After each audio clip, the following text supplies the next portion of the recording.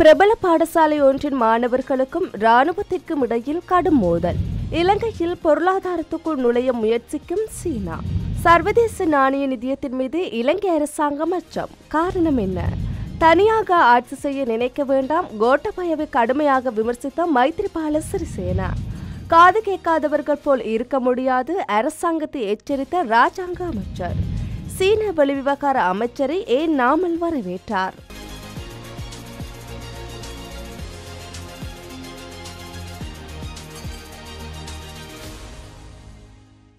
மினுவாங்கொடை பகுதியில் இராணுவத்தை சேர்ந்த சிலருக்கும் பாடசாலை மாணவர்களுக்கும் இடையில் கடும் மோதல் இடம்பெற்றுள்ளது இவ்வாறு இடம்பெற்ற மோதலில் இராணுவத்தை சேர்ந்த மூவர் காயமடைந்துள்ளதாக தகவல் வெளியாகியுள்ளது கொழும்பில் உள்ள இராணுவ தலைமையகத்தில் தற்போது பணியாற்றும் வவுனியா பாதுகாப்பு படை தலைமையகத்தைச் சேர்ந்த மூன்று இராணுவத்தினர் மினுவாங்குடையில் பாடசாலை மாணவர்கள் ஏழு பேருடன் மோதலில் ஈடுபட்டுள்ளனர்.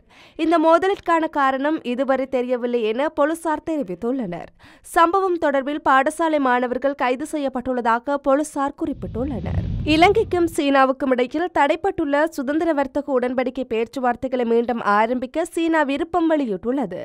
முக்கியமாக கொரோனா தொற்று காரணமாக இலங்கை பொருளாதார நெருக்கடி எதிர்நோக்கி வரும் நிலையில் ஏற்றுமதி அதிகரிக்கும் வகையில் இலங்கையுடனான தடைப்பட்ட சுதந்திர வர்த்தக உடன்படிக்கை பேச்சுவார்த்தைகளை மீள ஆரம்பிக்க சீனா விருப்பம் தெரிவித்துள்ளதாக இலங்கைக்கான சீன தூதுவர் குசென் கோங் தெரிவித்துள்ளார். இலங்கைக்கு வந்திருந்த சீனாவின் அரசு சபை உறுப்பினரும் வெளிவிவகார அமைச்சரும் வாங் சி இலங்கை அரசாங்க தலைவர்களுடன் சுதந்திர வர்த்தக உடன்படிக்கை தொடர்பில் சாதகமான கலந்துரையாடல்கள் மேற்கொண்டதாகவும் அவர் குறிப்பிட்டுள்ளார். சீன அரசாங்கத்துடனான சுதந்திர வர்த்தக உடன்படிக்கை தொடர்பான பேச்சுவார்த்தையை இலங்கை அரசாங்கம் சில நிபந்தனைகள் காரணமாக நிறுத்தியுள்ளது. இலங்கையில் இந்த சுதந்திர வர்த்தக ஒப்பந்தத்தை பெற முடிந்தால் சீனாவில் உள்ள ஒன்று தசம் நான்கு பில்லியன் மக்கள் தொகை கொண்ட சந்தைக்கு பொருட்களை ஏற்றுமதி செய்ய முடியும் என்று தூதுவர் கு சென்கோங் கூறியுள்ளார்.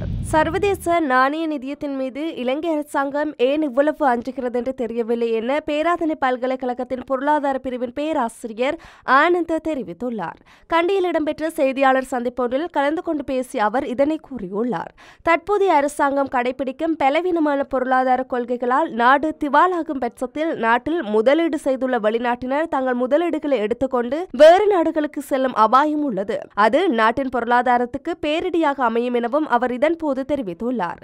இந்த ஆண்டு செலுத்த வேண்டிய மொத்த கடன் ஏழாயிரம் மில்லியன் டாலர்கள். ஜனவரி மாதத்தில் மட்டும் அறுநூற்று தொன்னூற்றி ஒன்பது மில்லியன் டாலர்கள் செலுத்த வேண்டியுள்ளது. இந்த கடனை செலுத்துவதை தள்ளி போட முடியாது. அதனால்தான் பலர் சர்வதேச நாணய நிதியத்திற்கு செல்ல பரிந்துரைக்கின்றனர்.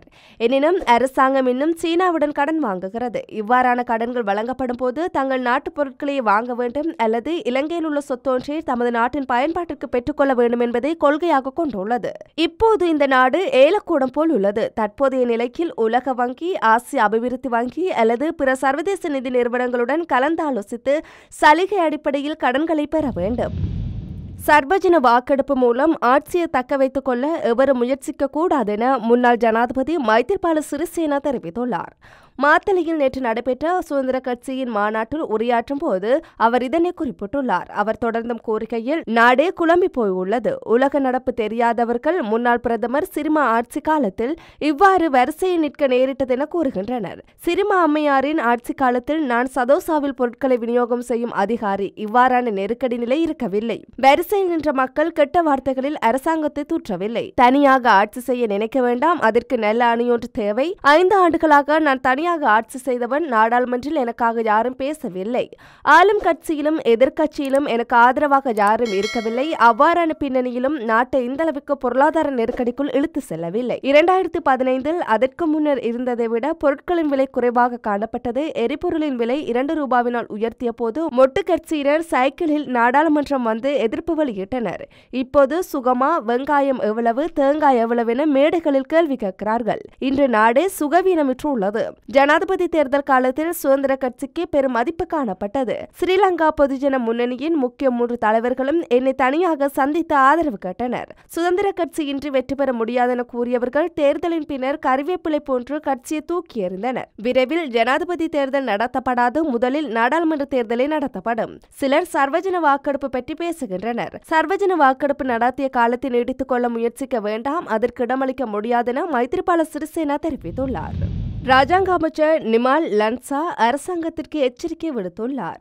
அரசாங்கத்தின் கொள்கைகள் தொடர்பில் அரசாங்கத்திற்கு உள்ளேயும் வெளியேயும் மேற்கொள்ளப்படும் விமர்சனங்களை உதாசீனம் செய்யக்கூடாது என அவர் சுட்டிக்காட்டியுள்ளார். மக்களின் பிரச்சினைகளையே மக்கள் பிரதிநிதிகள் பேசுகிறார்கள் என்பதை அரசாங்கம் புரிந்து கொள்ள வேண்டும் என தெரிவித்துள்ளார். அரசாங்கத்தை பிரதிநிதித்துவம் செய்தாலும் மக்களின் பிரச்சினைகள் பற்றி பேச வேண்டும் என அவர் குறிப்பிட்டுள்ளார். மக்கள் பொருட்களுக்காக நீண்ட வரிசையில் காத்திருப்பது நல்ல விடயமல்ல எனவும் இதற்காக மக்கள் பிரதிநிதி என்ற வகையில் கவலையடைவதாகவும் தெரிவித்துள்ளார். அனைவருக்கும் தங்களது கருத்துக்களை வெளியிட சுதந்திரம் உண்டு எனவும் மக்களின் கருத்துக்களையே மக்கள் பிரதிநிதிகள் வெளியிடுகின்றனர் எனவும் அவர் தெரிவித்துள்ளார். இவ்வாறான விமர்சனங்களை உதாசீனம் செய்யாது அரசாங்கம் இது குறித்து விரிவாக கலந்துரையாடி தீர்வு வழங்க நடவடிக்கை எடுக்க வேண்டும் என தெரிவித்துள்ளார். மக்கள் பிரதிநிதிகள் என்ற ரீதியில் கட்புலன் செவிப்புலன் அற்றவர்களாக இருந்துவிட முடியாதெனவும் அவர் சுட்டிக்காட்டியுள்ளார். டொலர் கையிருப்பு பற்றாக்குறையினால் நாட்டு மக்கள் பல்வேறு நெருக்கடிகளை எதிர்நோக்க நேரிட்டுள்ளது எனவும் நிமால் லன்சா ஊடகங்களிடம் தெரிவித்துள்ளார். இலங்கை இலங்கைக்கு விஜயம் செய்துள்ள சீன வெளிவிவகார அமைச்சர் வாங்ஷி ஏன் விளையாட்டுத்துறை அமைச்சர் நாமல் ராஜபக்ஷ வரவேற்றார் என எதிர்க்கட்சி நாடாளுமன்ற உறுப்பினர் பீல்ட் மார்ஷல் சரத் பொன்சேகா விளக்கியுள்ளார். சீன வெளிவிவகார அமைச்சரை இலங்கை வெளிவிவகார அமைச்சர் ஜி. எல். பீரிஸ் வரவேற்கவில்லை.